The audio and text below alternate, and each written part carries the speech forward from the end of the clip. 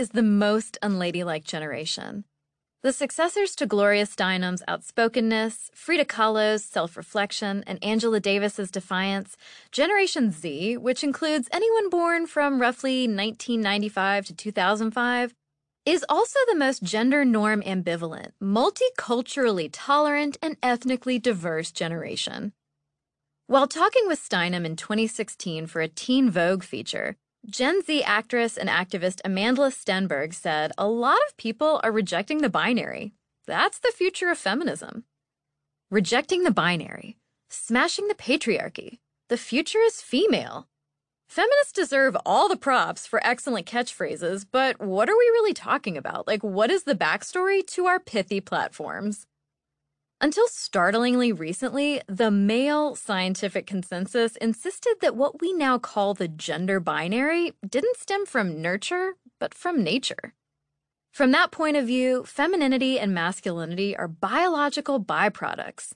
Vaginas equaled girly skills and dispositions, and penises equaled doodly ones, as in literally our bodies ourselves. Even suffragists in the mid to late 1800s, aka the first wave of American feminists, bought into this logic, arguing that because women were naturally the more sensitive sex, they would bring a much needed moral compass to politics and governance.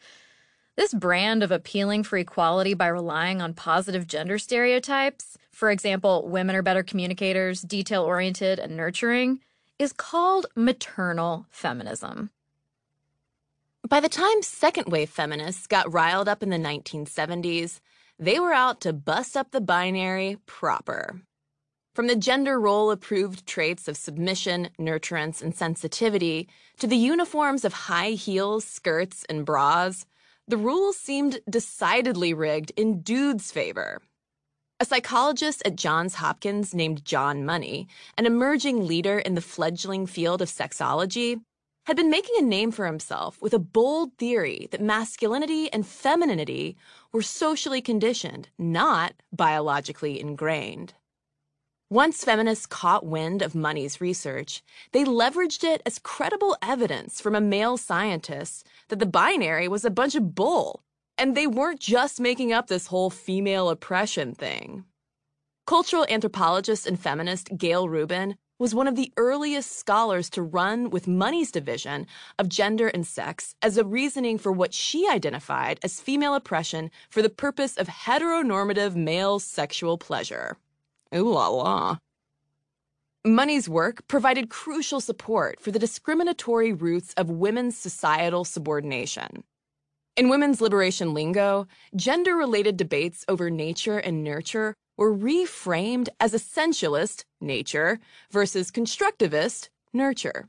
And with that, feminist scholars and lawyers began coining a whole new language of gender equality, gender discrimination, and gender politics, one that we still use today to protest gender typecasting and sexism.